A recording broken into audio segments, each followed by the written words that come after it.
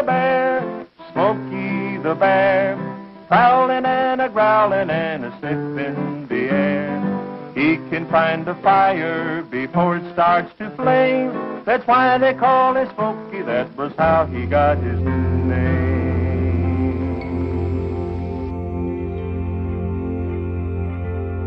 been having a lot of fun around here today, haven't? Camping in the great outdoors, swimming, hiking. And you know what makes this all possible? The forest around it. Smokey the Bear, my friend and yours, who needs our help to keep our forest green and growing. Remember, only we, you and I, can prevent forest.